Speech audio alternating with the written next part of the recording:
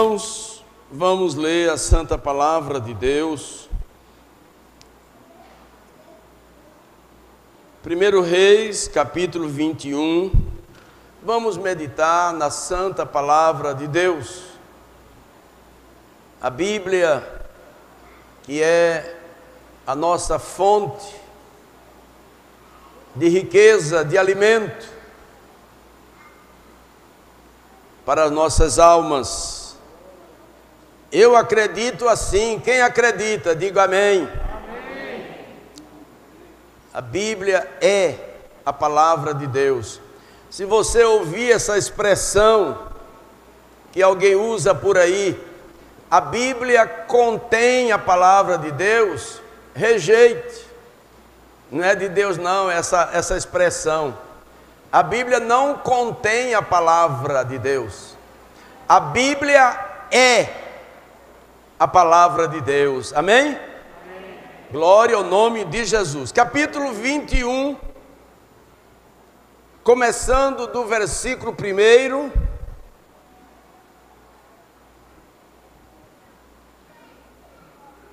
Estaremos lendo a partir do versículo 1, alternadamente. Quem encontrou, diga amém. amém. Primeiro Reis, capítulo 21. Versículo 1: E sucedeu depois destas coisas, tendo Nabote o Jezreelita uma vinha que em Jezreel estava junto ao palácio de Acabe, rei de Samaria,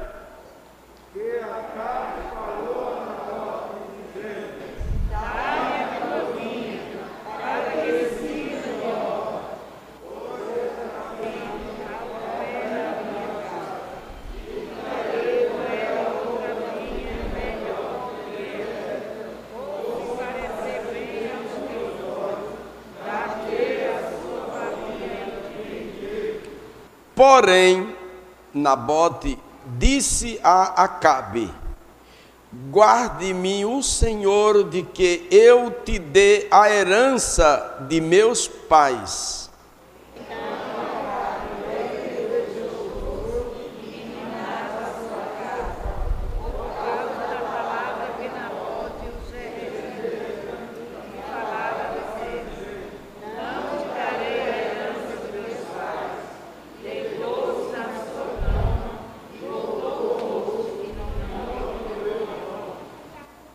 Porém, vindo a ele Jezabel, sua mulher, lhe disse: Que há? Que está tão desgostoso o teu espírito e não comes pão?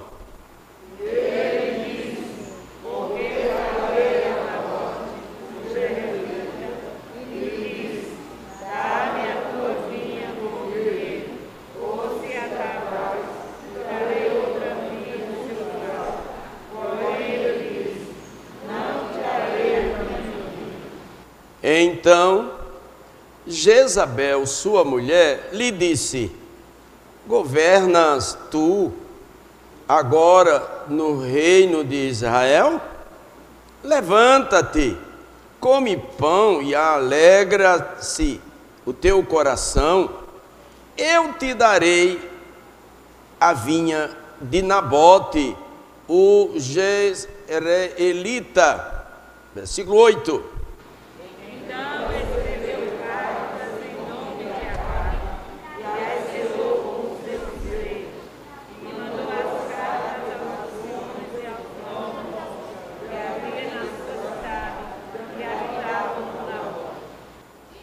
E escreveu nas cartas, dizendo: Apregoai um jejum e ponde Nabote acima do povo.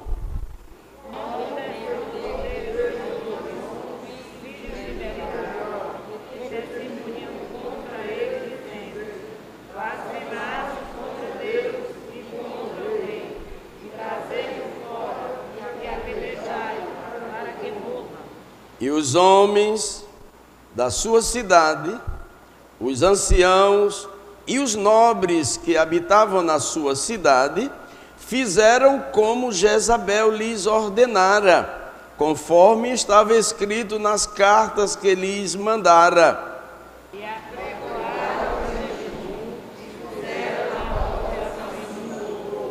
Então vieram dois homens, filhos de Belial, e puseram-se defronte dele, e os homens, filhos de Belial, testemunharam contra ele, contra Nabote, perante o povo, dizendo: Nabote blasfemou contra Deus e contra o rei, e o levaram para fora da cidade e o apedrejaram com pedras e morreu.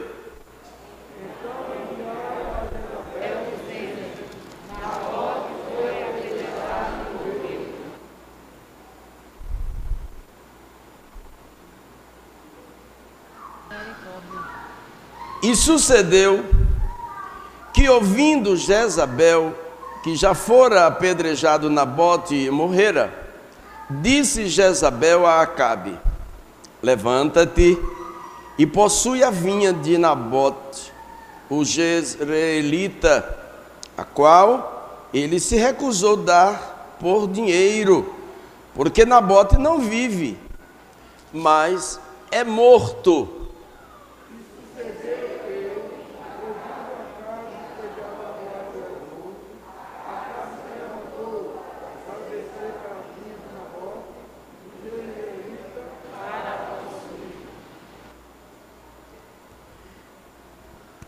E todos dizem? Amém. É uma hora de dizer amém, tão difícil essa aqui, né? Aleluia.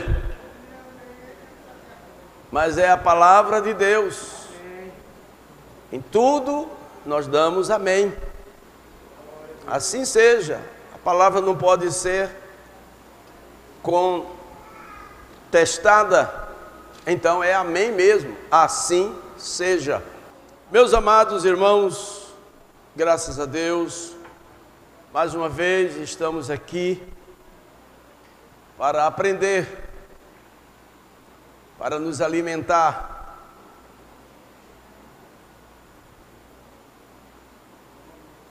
Jesus disse: Quem tem sede, vem a mim e beba.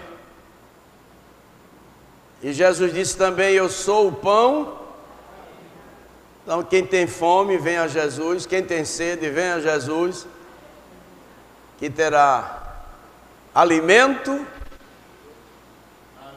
e terá água para saciar a sede. Eu estava pensando enquanto cada momento que assumo este lugar, antes de começar a falar, geralmente me acontece de antes fazer uma autoavaliação do que vou falar,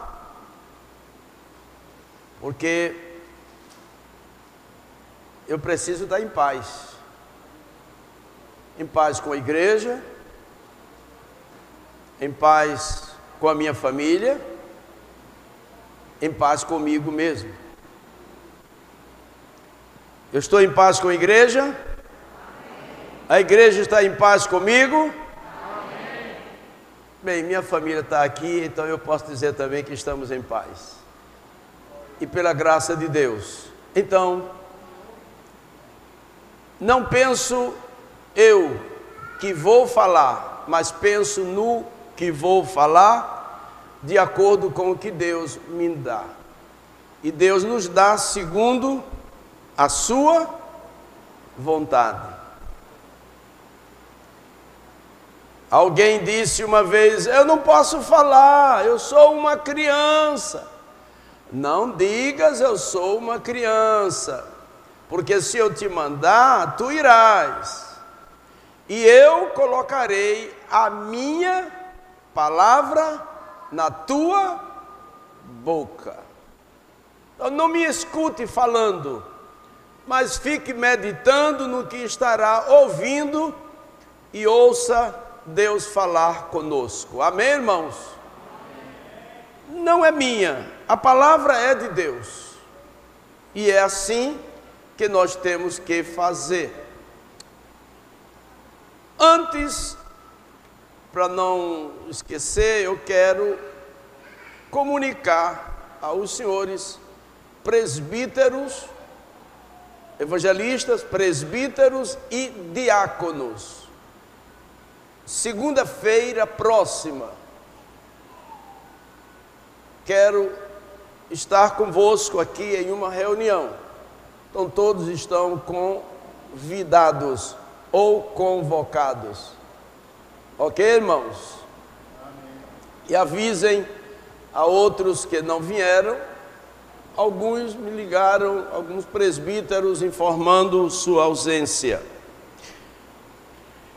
Mas, meus amados irmãos, estamos aqui diante de uma leitura, a palavra de Deus, que nos traz para meditar sobre este assunto que é e serve para nossa autoavaliação também.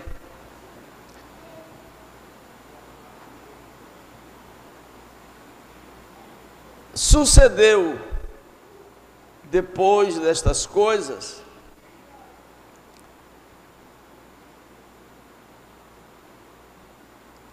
tendo Nabote o Jezreelita uma vinha que em Jezreel estava junto ao palácio de Acabe, rei de Samaria. Que Acabe falou a Nabote, dizendo: Dá-me a tua vinha, porque para que me sirva de horta, pois está vizinho ao pé da minha casa e te darei por ela outra melhor do que ela. Ou, se parece bem aos teus olhos, dar-te-ei a sua valia em dinheiro. Há um questionamento, lendo esse texto logo de início, ah, eu perguntava, era tão simples Nabote dizer ao rei: Pois não, me mostre qual é a outra melhor e eu quero. E me deu, ou me deu o valor em dinheiro. Mas o que nós encontramos aqui inicialmente nessa fala, irmãos, é uma questão de fidelidade, uma questão de respeito à vinha ou chamamos vinha aqui no texto, chamamos chácara na nossa época, ou sítio da mesma forma, uma propriedade. Uma propriedade. Era muito simples e muito fácil ele simplesmente vender. Não tinha para a época atual, na nossa conjuntura atual.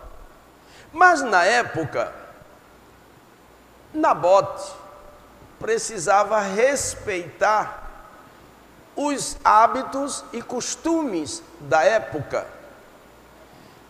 Uma propriedade não era vendida, porque era tida como propriedade de Israel, da nação. E alguém que possuía poderia arrendar. Com o tempo, segundo comentarista, espaço de 30 ou 50 anos, me parece, voltaria para o dono. Mas aquela propriedade, aquela administração, ela continuaria sendo como propriedade daquele que estava utilizando-a. E não era permitido vender. Não era permitido negociação nenhuma, a não ser arrendamento. Mas o rei não pediu arrendamento. O rei Acabe pediu a vinha para possuí-la como sua propriedade. E ele, obedecendo às leis e às determinações, ele disse: Não. Qual foi a resposta de Acabe?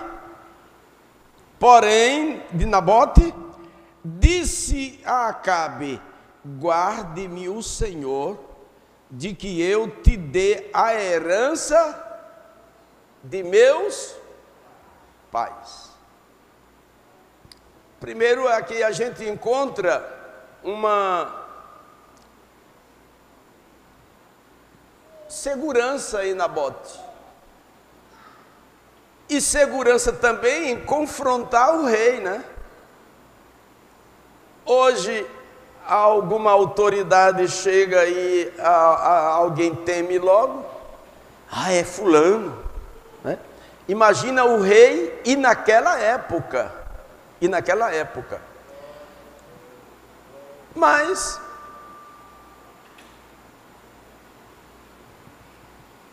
tranquilamente Nabote disse: Eu não vendo, não posso te dar. O Senhor me guarde de que eu te dê ou negocie, ou te venda a herança de meus pais.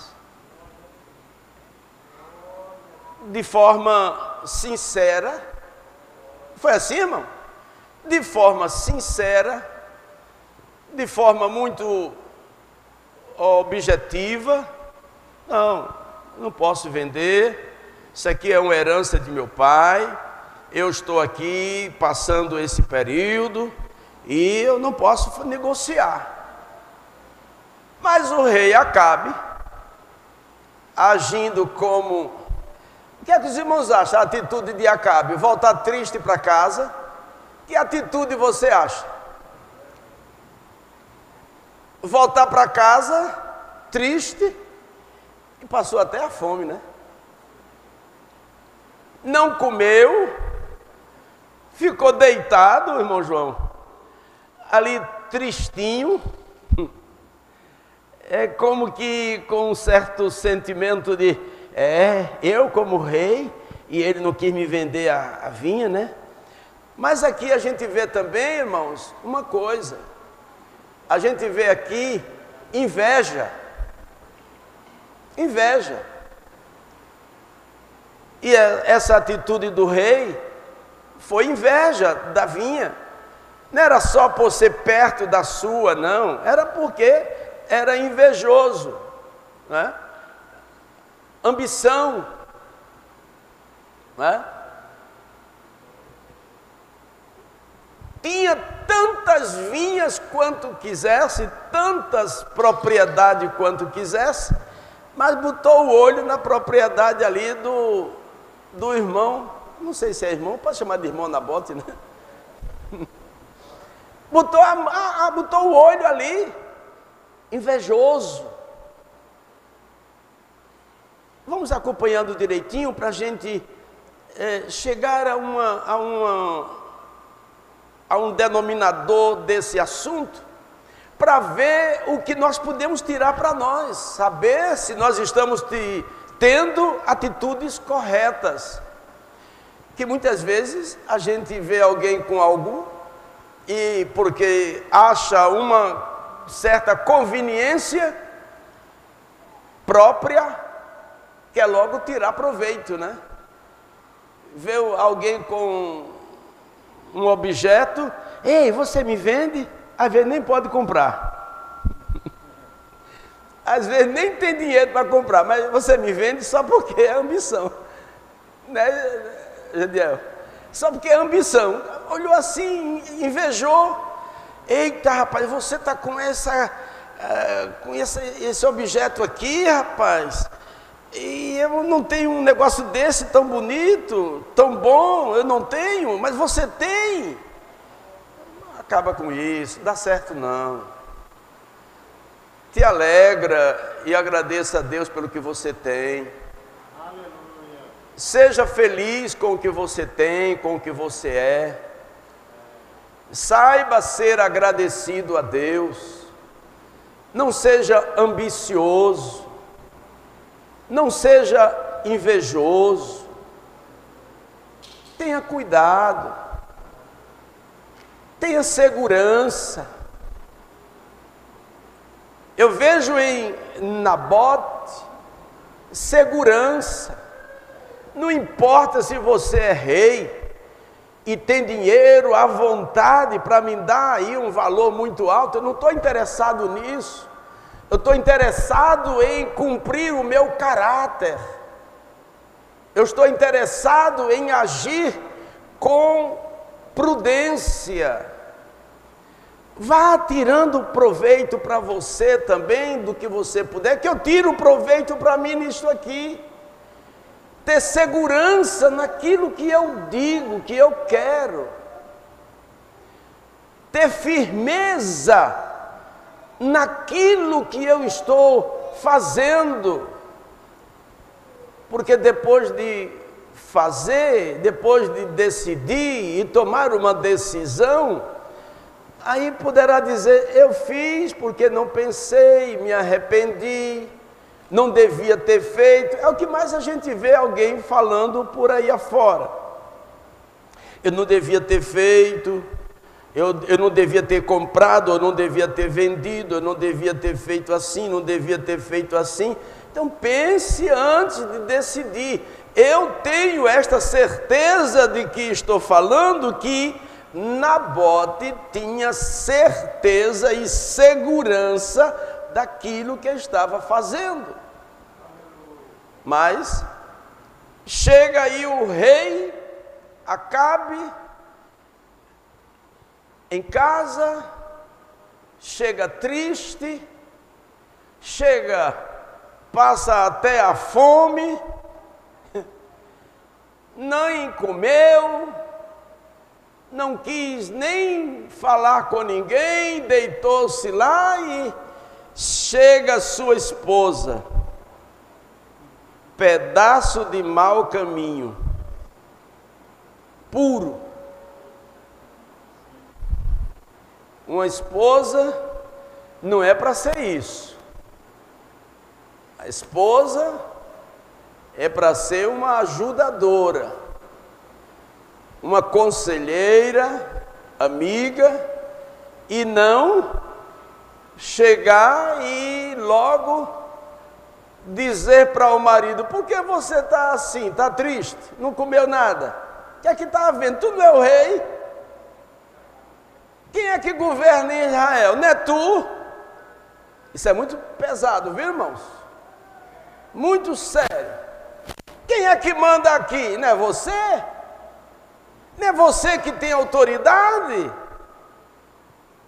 Quem é que pode ir de encontro? Faça e pronto, está feito. Você pode fazer. Não é assim, não, menino. Não é assim, não, que as coisas caminham.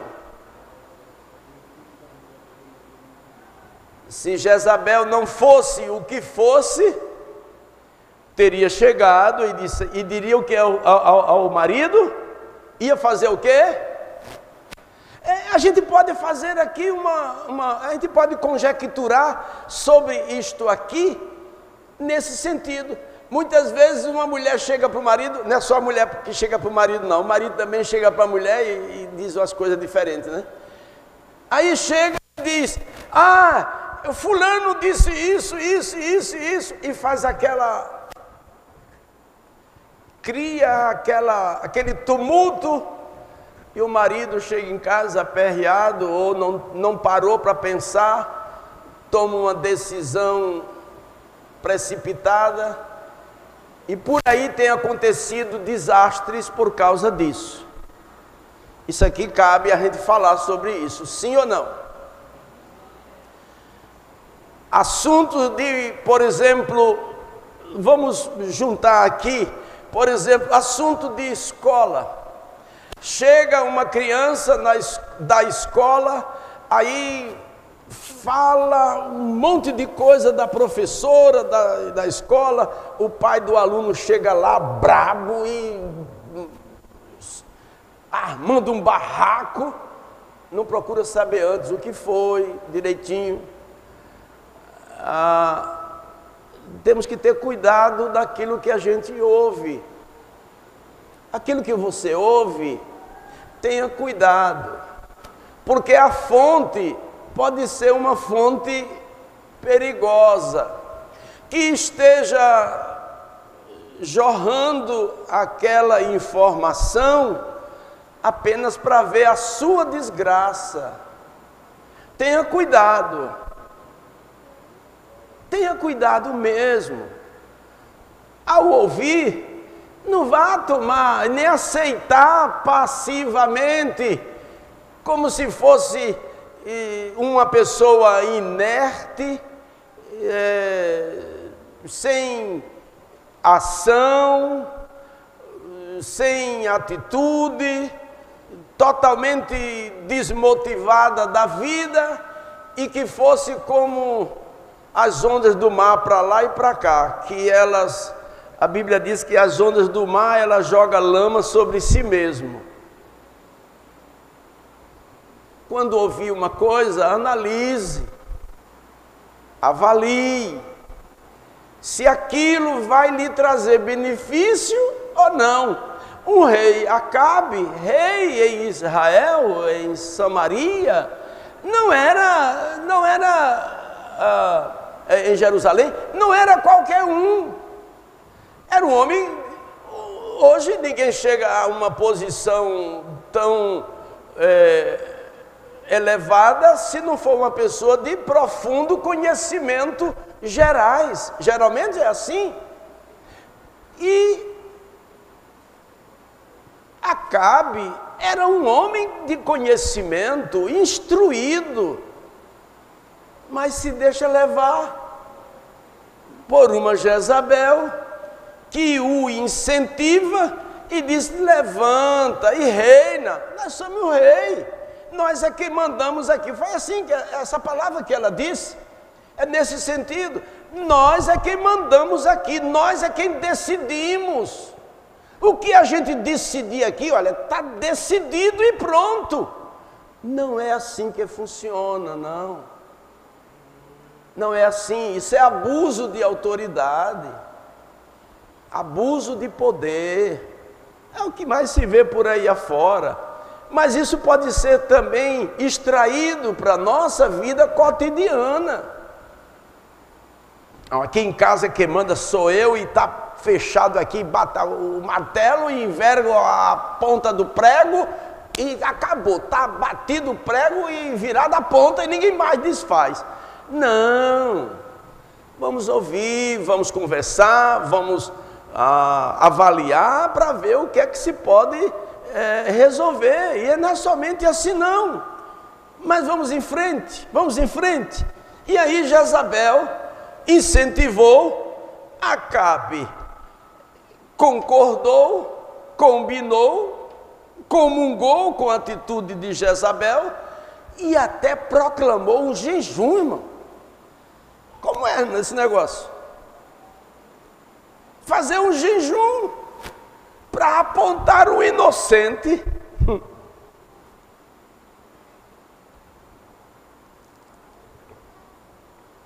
Levantar um jejum e colocar o inocente acima de todos. Engrandeceu a, a, a Nabote. Foi assim?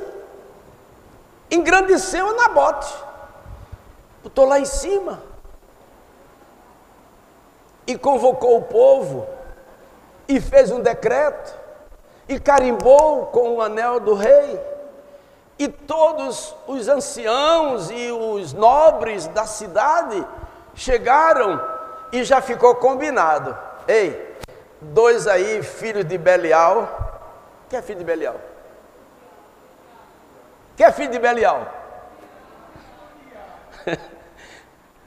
dois filhos do diabo se levantaram para, é, vamos usar esse termo, né? um pouco pejorativo, mas vamos usar bajuladores do rei, para poder ter nome diante do rei, ser visto perante o rei, aí apontaram Nabote, inocente, que havia blasfemado contra Deus. Nabote estava honrando Deus, estava honrando, o Senhor me guarde, que eu desobedeça. Mas o que eles disseram? Levantaram-se e, blasfema, e, e, e levantaram, caluniaram Nabote, e ele foi morto. Irmãos, a Bíblia diz, e nós sabemos que tudo que o homem semear, isso também ceifará. Guarda esta palavra aí com você. Tudo que você estiver fazendo, ou tudo que você for fazer, antes de concluir, pense duas vezes. Não faça antes de pensar duas vezes. Porque se você fizer, quando você terminar de fazer, fique sabendo de uma coisa: está feito, amanhã, daqui a um dia, dois, três, um mês, um ano, dez, vem o efeito daquilo que você semeou. Tenha cuidado, viu? Tenha cuidado, eu estou repetindo. Não semeie vento, porque a tempestade pode vir sobre sua vida. Não dá nem para dizer amém, né? Eu nem sei se diga amém, porque é tão pesado, né? Eu semear vento, mas aqui não tem ninguém semeando tem, é vento. Eu acredito que aqui não tem ninguém semeando vento. E se tiver, não faça isso não. Porque se tiver, a tempestade vem.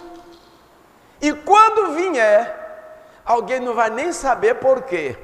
Porém, vamos adiantando, que eu quero ver isso aqui. Porém, eu vejo nesse texto que nós acabamos de ler, que para muitos não seria e não teria sentido e nem ficaria até um caso esquecido.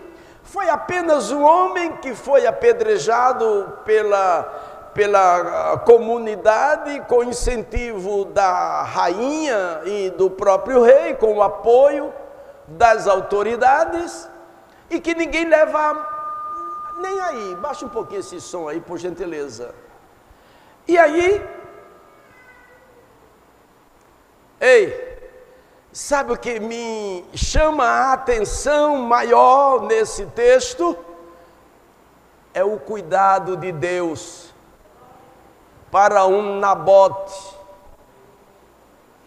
que para muitos apenas diria foi apenas um caso, mas Deus, oh meu Deus, glória ao nome do Senhor.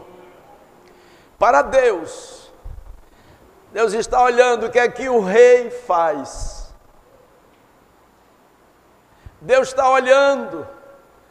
E Deus usa alguém, o profeta. O profeta Elias, Deus chama o profeta Elias e manda ir lá e dá um recado para ele. Irmãos,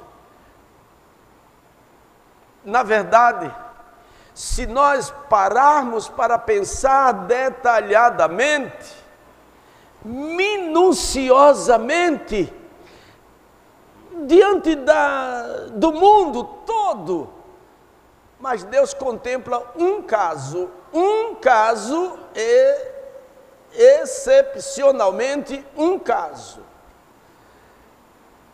aonde você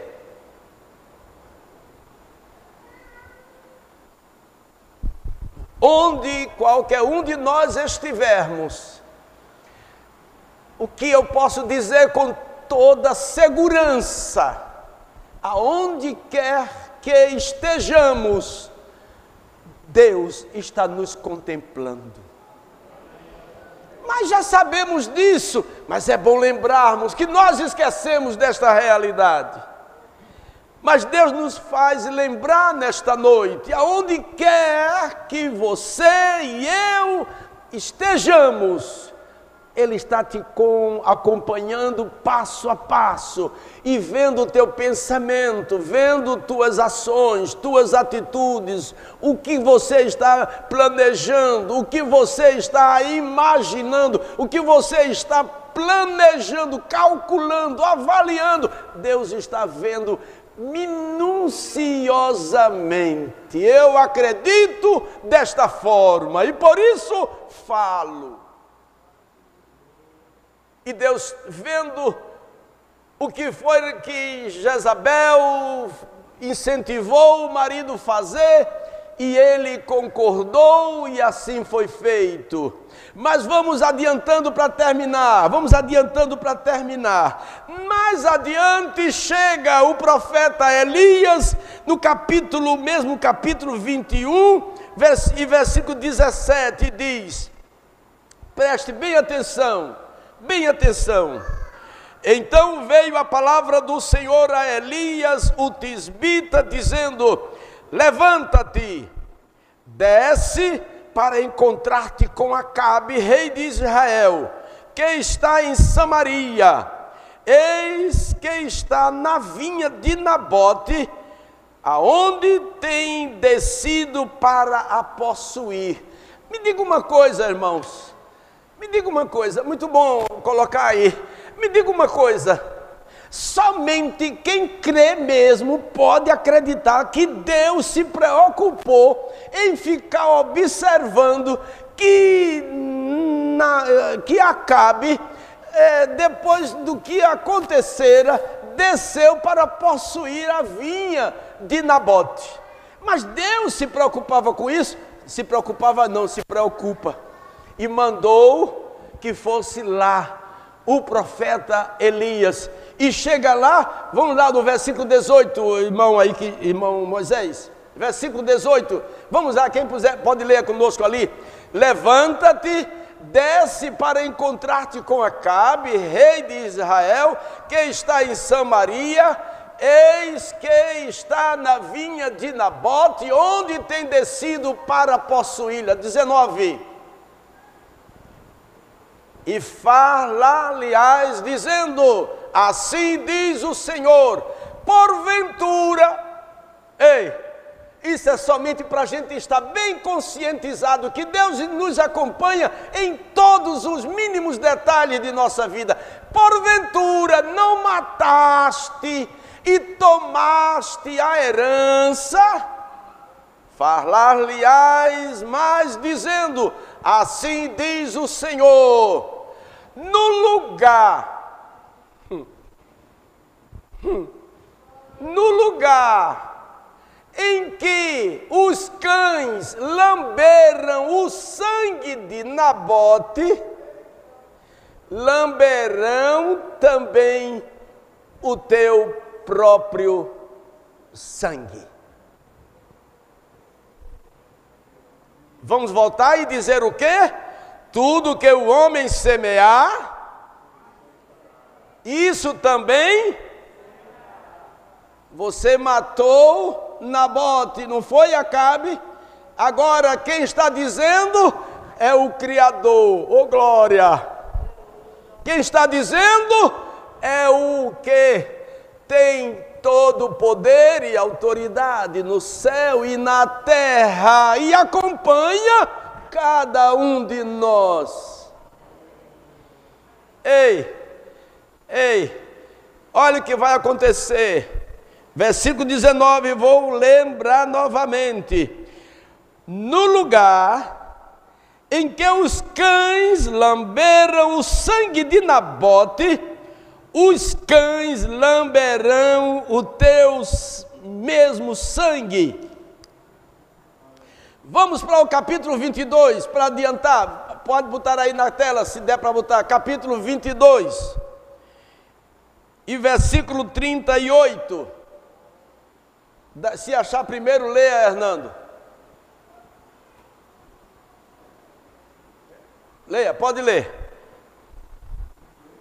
22 e 38.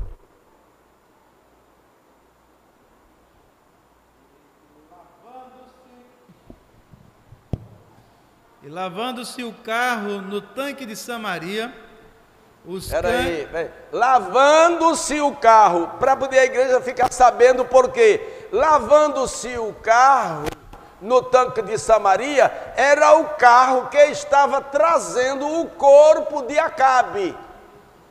É bom a igreja saber disso.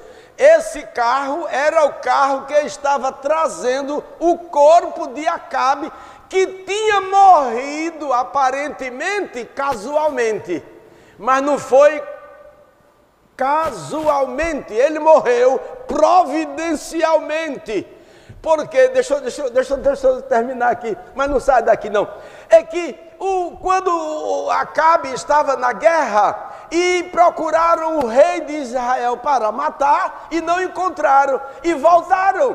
E um flecheiro, uma bala, uma bala perdida, sabe o que é uma bala perdida? Uma, aí jogou a flecha assim, pegou a lança e jogou a flecha, pronto. E a flecha foi até onde? Entre as fivelas das armaduras de Acabe. Casualmente? Não, porque Deus havia dito: Ei, ei, o que Deus fala, Deus, Deus cumpre. Oh glória! O que Deus fala, Deus cumpre. Termina agora. Olha, lavando o carro. E lavando-se o carro no tanque de Samaria, os cães lamberam o seu sangue. Ora, as prostitutas se lavavam ali, conforme a palavra que o Senhor tinha dito. O que foi que Deus dissera através do profeta Elias no lugar onde os cães lamberam o sangue do inocente Nabote, lamberão o teu sangue.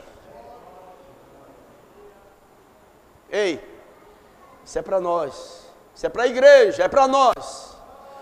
Entendermos que cada passo, sobre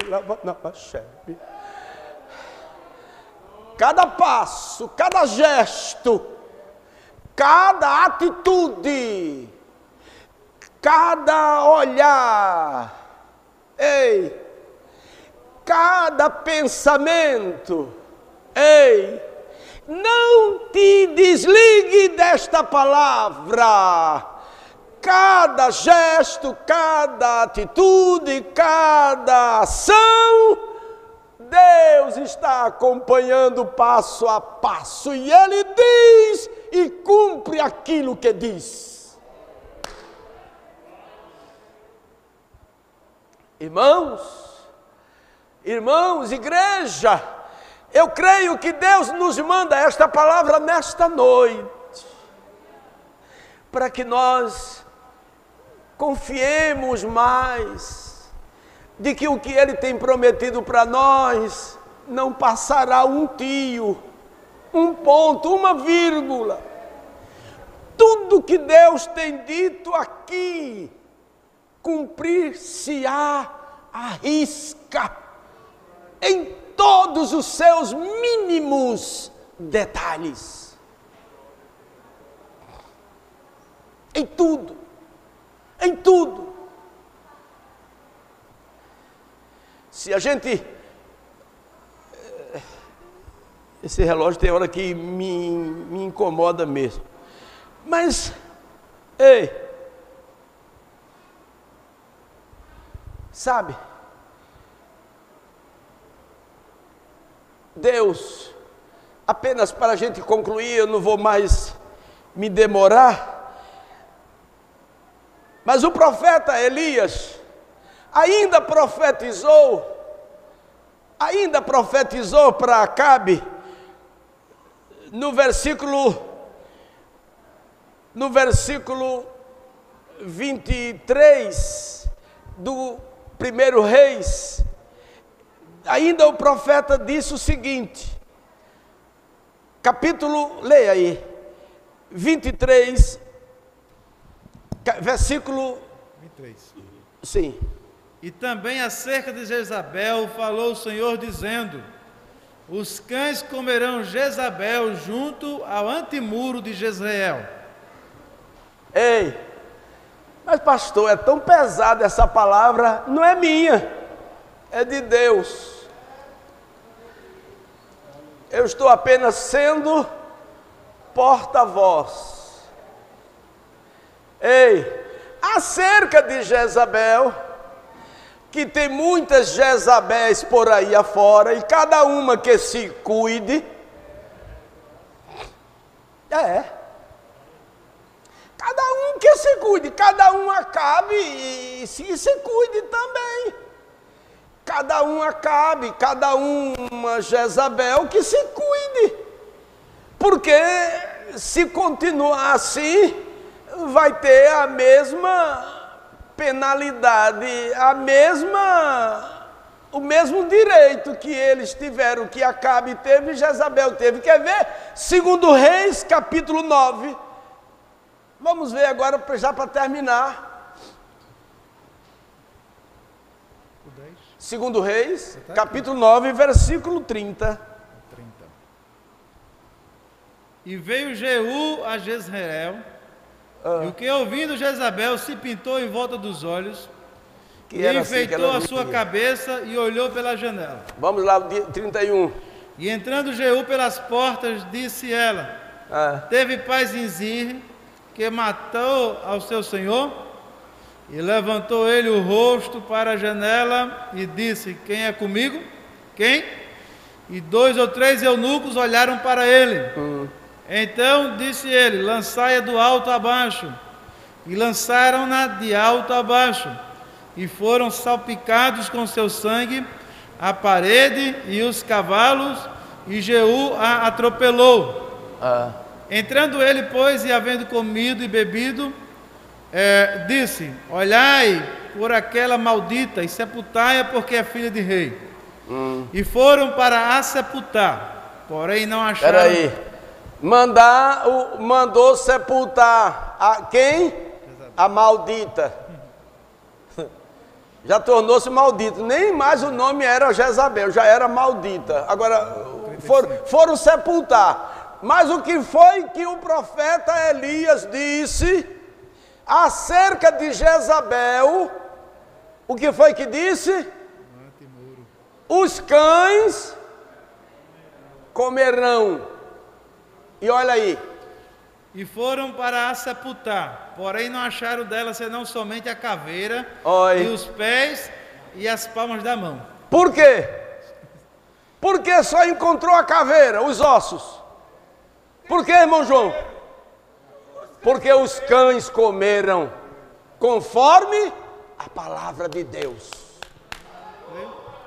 Então voltaram e lhe fizeram saber. E ele disse: Esta é a palavra do Senhor. Oh, aleluia. A qual falou pelo ministério de Elias, o tisbita, aleluia. seu servo, dizendo: No pedaço do campo de Jezreel, os cães comerão a carne de Jezabel.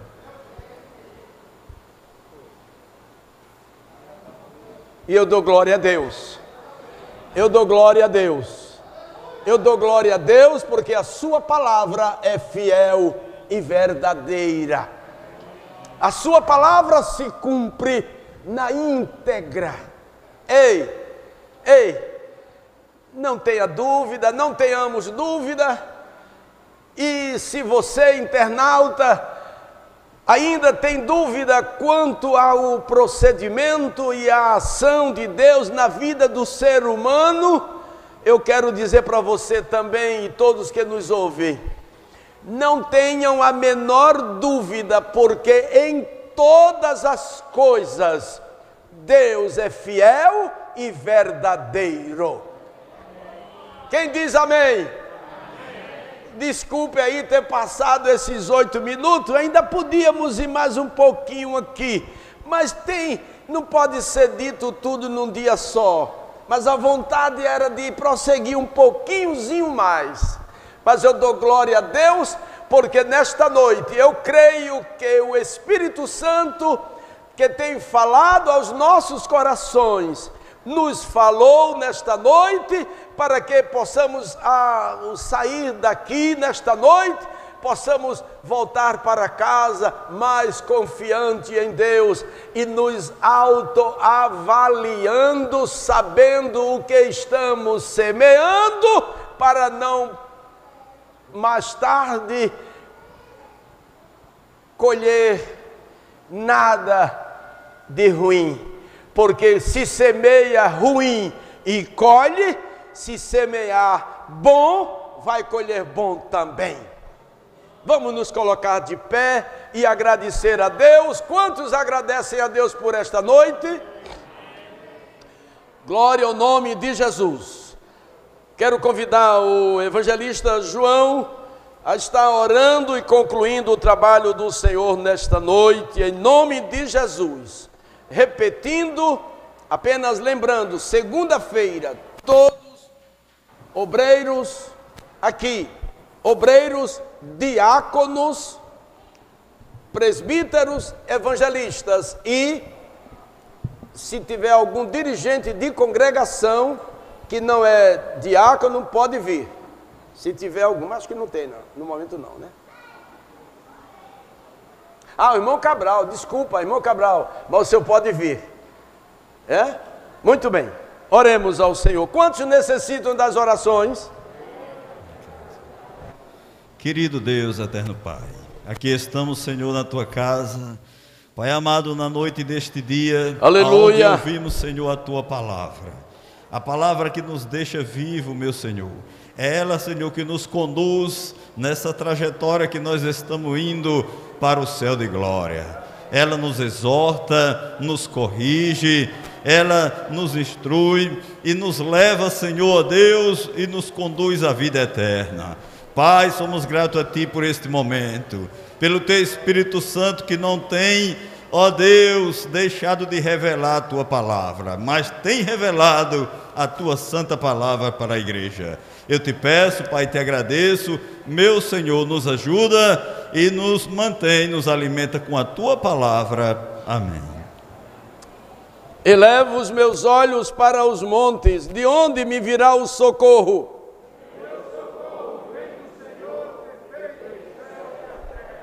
O Senhor guardará a tua entrada e a tua saída.